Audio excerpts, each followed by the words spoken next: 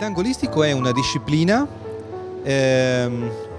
abbastanza nuova, c'è da 4-5 anni in Italia e in Europa e ha l'obiettivo di aiutare le persone a raggiungere un maggiore benessere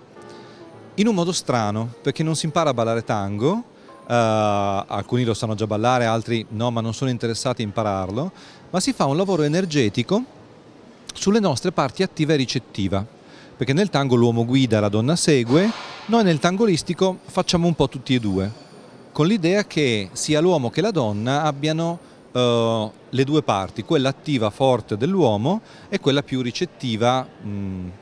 della donna, del, più sul piacere, più sul godimento. Facciamo un lavoro di equilibrio su queste due parti.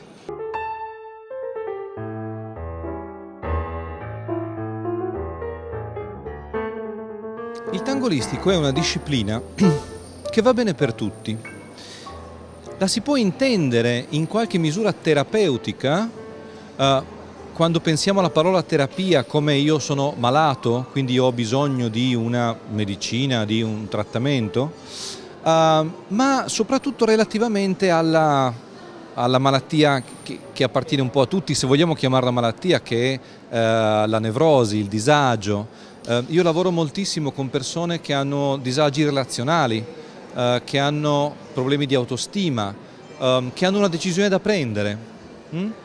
Diverso è il discorso della tangoterapia eh, in senso stretto che può essere rivolta a pazienti questa volta che possono avere un problema di Parkinson, un problema di Alzheimer eccetera. È un lavoro che io faccio di meno, io faccio un lavoro molto energetico nella danza, a volte anche piuttosto forte che quindi stimola molto uh, l'anima delle persone e eh, tira fuori la luce che c'è dentro in modo a volte molto vigoroso e questo muove, eh, emoziona, emoziona molto. A volte mi chiedo e mi chiedono che cosa funzioni davvero nel tango olistico, che cosa provochi questa sensazione di uh, vitalità. In realtà la risposta è piuttosto semplice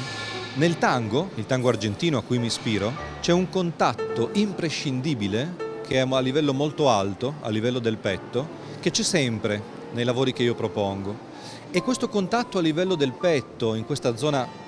prettamente relazionale, che va a sviluppare, mi viene da dire, a incendiare la mia anima e a farla parlare. E c'è quello che c'è naturalmente e quando io sento quello che c'è posso decidere anche di orientarmi e posso trovare la strada per stare meglio. Quello che succede quando noi ci stacchiamo è che questo, questa scintilla in qualche modo si spegne, quindi approfittiamo molto di questo contatto che è un contatto soprattutto molto alto.